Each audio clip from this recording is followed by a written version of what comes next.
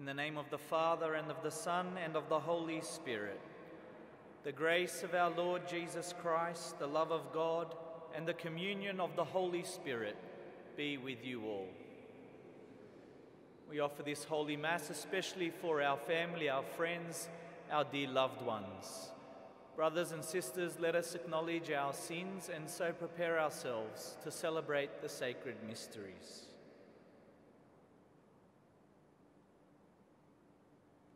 I confess to Almighty God and to you, my brothers and sisters, that I have greatly sinned in my thoughts and in my words, in what I have done and in what I have failed to do, through my fault, through my fault, through my most grievous fault. And therefore I ask Blessed Mary, ever Virgin, all the angels and saints, and you, my brothers and sisters, to pray for me to the Lord our God. May Almighty God have mercy on us, forgive us our sins, and bring us to everlasting life. Kyrie eleison. Christe eleison. Kyrie eleison. Let us pray. O God, from whom all good things come, grant that we who call on you in our need may at your prompting discern what is right, and by your guidance do it.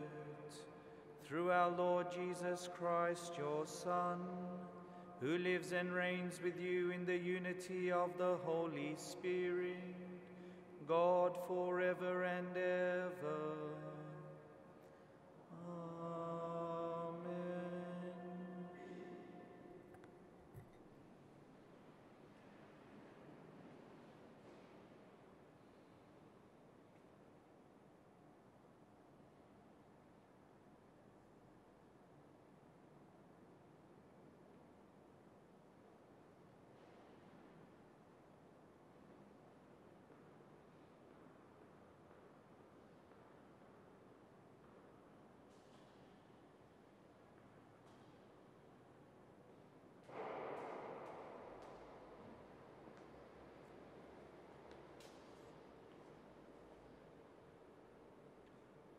A reading from the second letter of St. Paul to the Corinthians.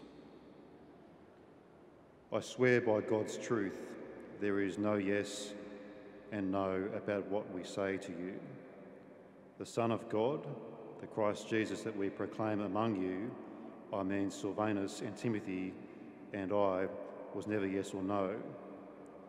With him it was always yes, and however many the promises God made, the yes to them all is in him. That is why it is through him that we answer Amen to the praise of God. Remember, it is God Himself who assures us all and you of our standing in Christ and has anointed us, marking us with His seal and giving us the pledge, the Spirit that we carry in our hearts. This is the word of the Lord. Thanks be to God. The responsorial psalm is Lord, let your face shine on me. Lord, let your face shine on me. Your will is wonderful indeed, therefore I obey it. The unfolding of your word gives light and teaches the simple. Response Lord, let your face shine on me. I open my mouth and I sigh, and I yearn for your commands. Turn and show me your mercy, show justice to your friends. Response Lord, let your face shine on me.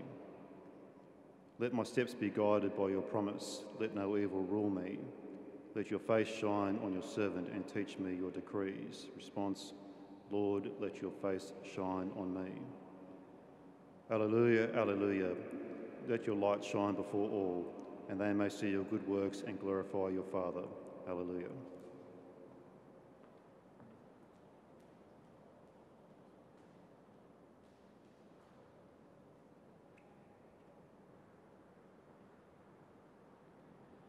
The Lord be with you.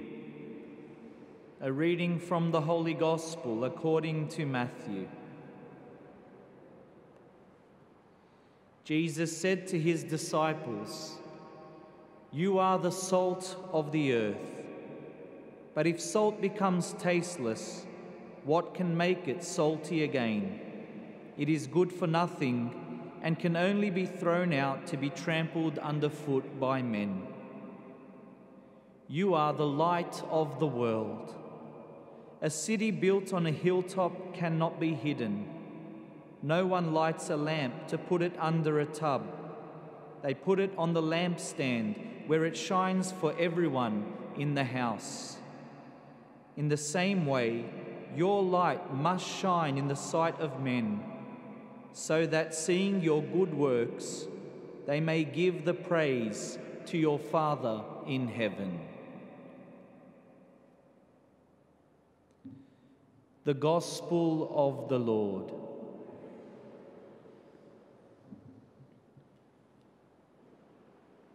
It's a new following, a new movement of people Jesus takes them up the mountain and delivers what is known as the Sermon on the Mount. And he gives them these words that both provide a new identity and mission for the followers of Jesus Christ. It's interesting that it happens very early on, not after they have achieved something themselves but it's really just by responding to the invitation of Jesus, who says, Come, follow me, that these people immediately, in doing what Christ asked, are discovering already a new identity and mission. Both light and salt Christ uses to highlight something of who his followers will be and what they're called to do. Jesus himself says, I am the way, the truth, and the life. Light is needed, brothers and sisters, for others to see the way. We are not the way, Jesus is. But He has chosen us to light up the way for others to recognize that to discover that and to know where and who to walk with. Elsewhere in Scripture, when someone asks Jesus, by starting with the words, good teacher, Christ highlights immediately and wants them to think about what that good means by saying, Why do you call me good? No one is good but God alone. We heard about it today as well in the collect of the Mass. We hear about how God Himself is the giver of all that is good. When you think about salt and its use, especially in the time of Christ, it was primarily to preserve in a time where they didn't have refrigeration like we do today, salt was valuable in preserving the good that was food that was necessary for survival. Jesus himself is the source of goodness, but he has chosen us to be the salt that preserves the good that is in this world. And not only that, as Christians, we're also meant to add flavour to life. Salt also enhances. And so, the question for us, brothers and sisters, today is how do we light up the way for others to see? How do we, as followers of Jesus, members of this movement, enhance the lives of others?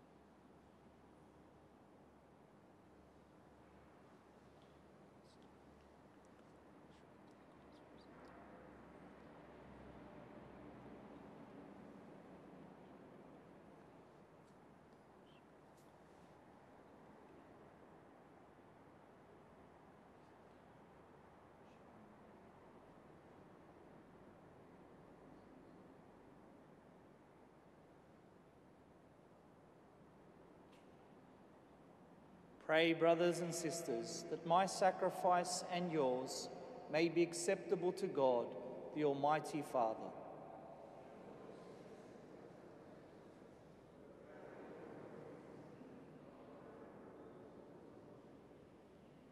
Look kindly upon our service, O Lord, we pray, that what we offer may be an acceptable oblation to you and lead us to grow in charity through Christ our Lord.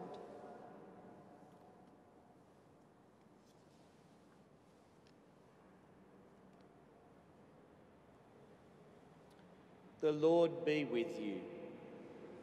Lift up your hearts. Let us give thanks to the Lord our God.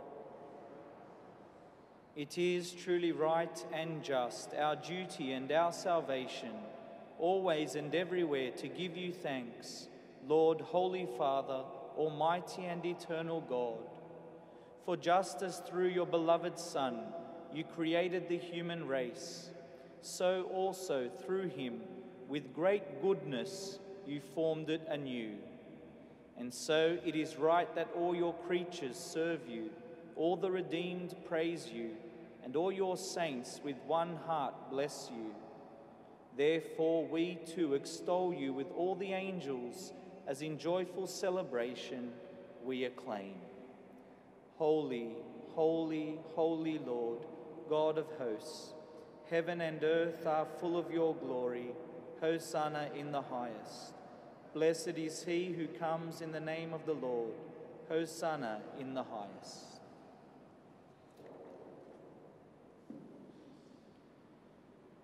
You are indeed holy, O Lord, and all you have created rightly gives you praise.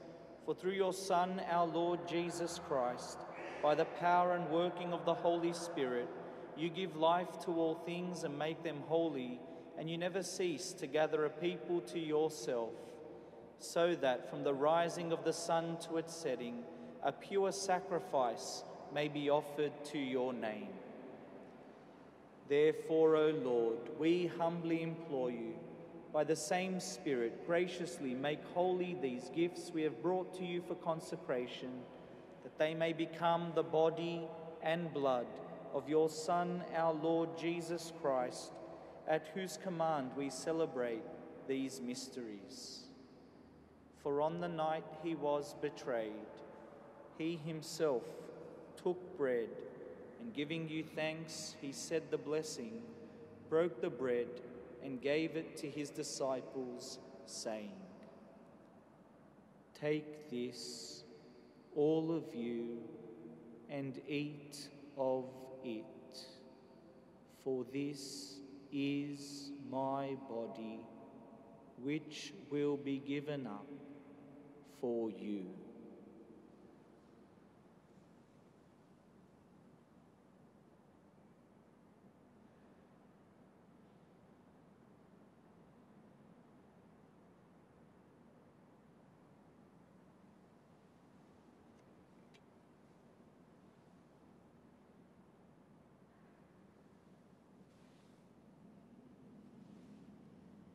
In a similar way, when supper was ended, he took the chalice, and giving you thanks, he said the blessing, and gave the chalice to his disciples, saying,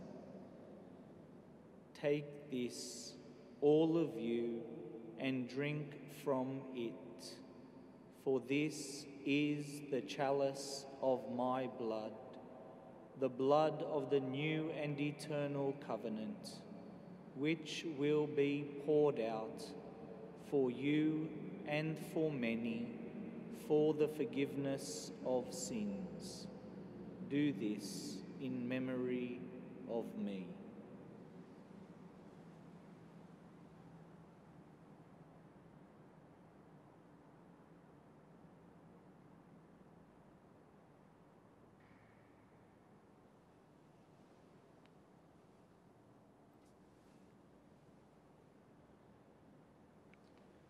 The mystery of faith. We proclaim your death, O Lord, and profess your resurrection until you come again.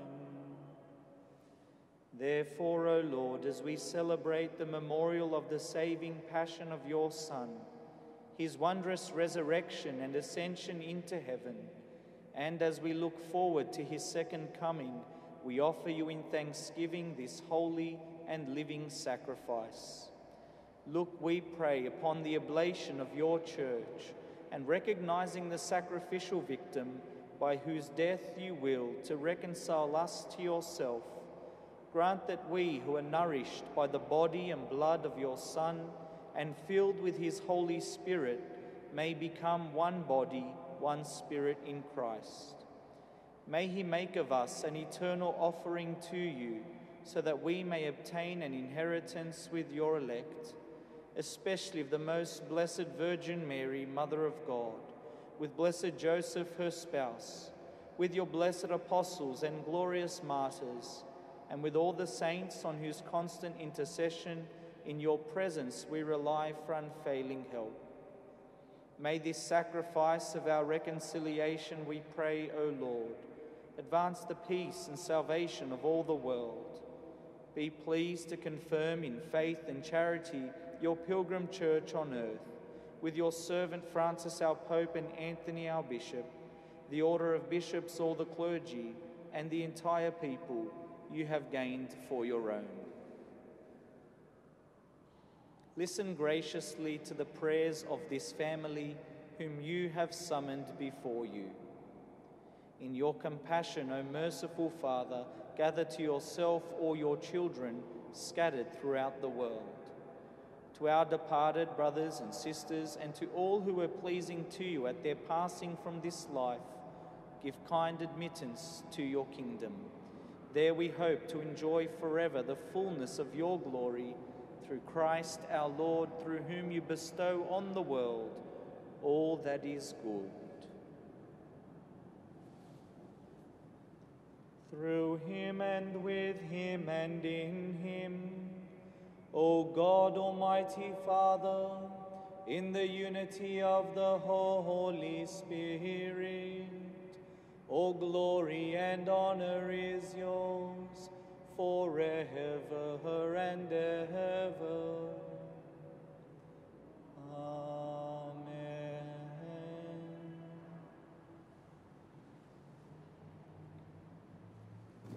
At the Saviour's command and formed by divine teaching, we dare to say, Our Father, who art in heaven, hallowed be thy name. Thy kingdom come Thy will be done on earth as it is in heaven. Give us this day our daily bread, and forgive us our trespasses, as we forgive those who trespass against us. And lead us not into temptation, but deliver us from evil. Deliver us, Lord, we pray, from every evil. Graciously grant peace in our days, that by the help of your mercy, we may be always free from sin and safe from all distress, as we await the blessed hope and the coming of our Saviour, Jesus Christ.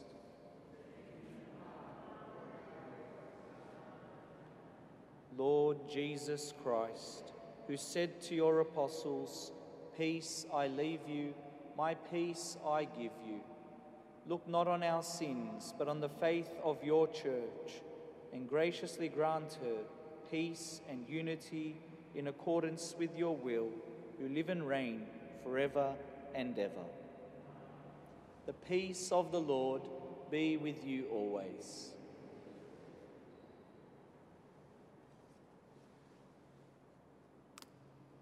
Lamb of God.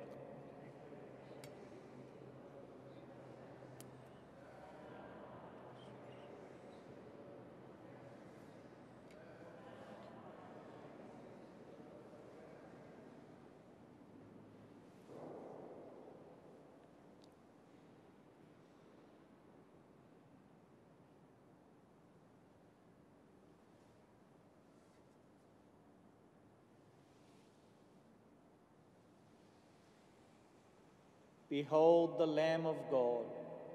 Behold him who takes away the sins of the world. Blessed are those called to the supper of the Lamb. Lord, I'm not worthy that you should enter under my roof, but only say the word, and my soul shall be healed.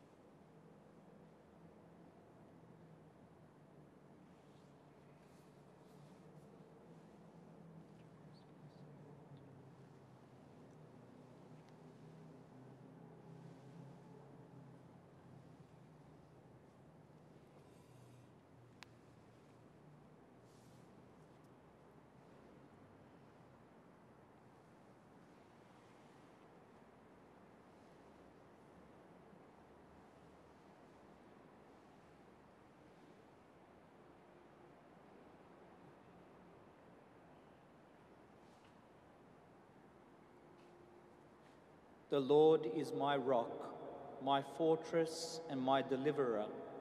My God is my saving strength.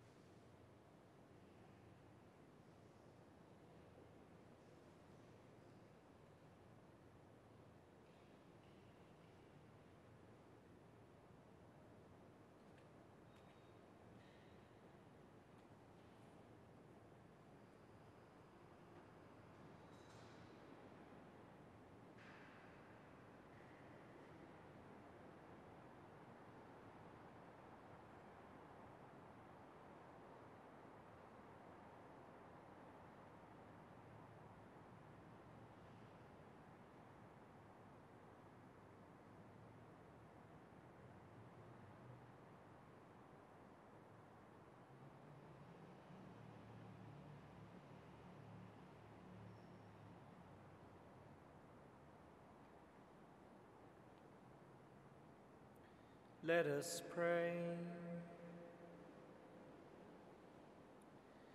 May your healing work, O Lord, free us, we pray, from doing evil and lead us to what is right. Through Christ our Lord.